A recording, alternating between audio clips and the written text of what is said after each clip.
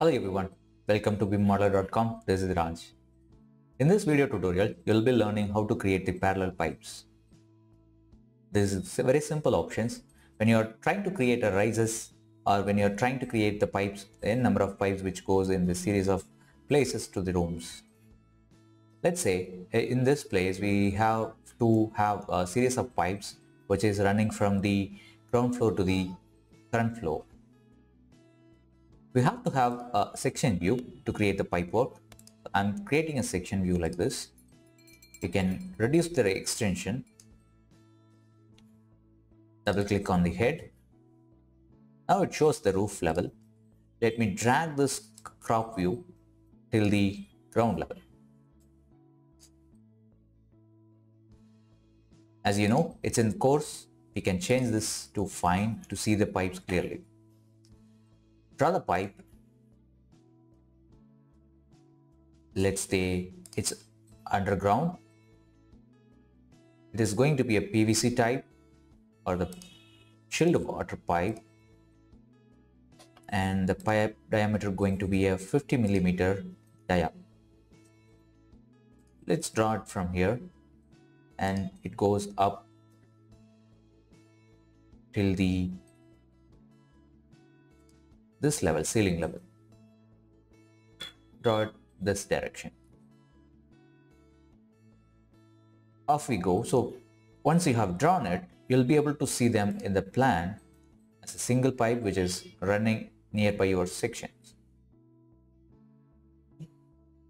If you need n number of pipes, say for example 5 pipes in this series, you can use the parallel pipe option like this. You have to specify how many number of pipes we needed. Five pipes. You can come nearby that and you'll be able to see that it's in the gap of 305 and five number of pipes are trying to create including the pipe that we are trying to click say for example it requires 100 millimeter gap like this once you click the segment of the pipe will be created not the other pipes which is on the elevations. To understand it clearly, you can control Z once again. Select all the pipes using the tab key and click that pipe. Create the section box. Now you'll be able to see that the pipes are running to the riser like this. Use the parallel pipe option 500 gap and you can see the highlights which side you need it you can by moving the cursor you can opt the sides. Use the tab key and you will be able to run continuously the pipes. In this way you'll be able to create your five number of pipes as series like this again control Z I'm trying to create the parallel pipe which is 5 to 10 pipes like this either side. Use the tab key to create continuously. You can able to create parallel horizontal or vertical pipes as you need it. In this case, we need only the horizontal pipe. So let me go parallel, which requires only one pipes like this.